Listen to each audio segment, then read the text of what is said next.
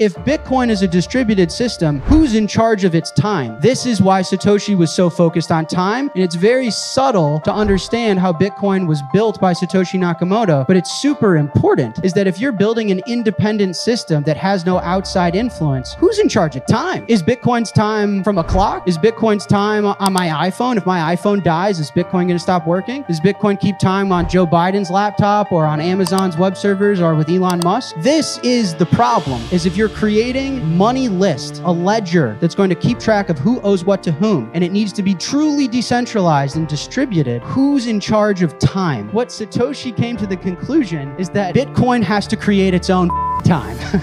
As he said, I can't trust anyone else's time because that time can mess with the system. So, in order for Bitcoin to be its own independent digital money, I have to create my own time.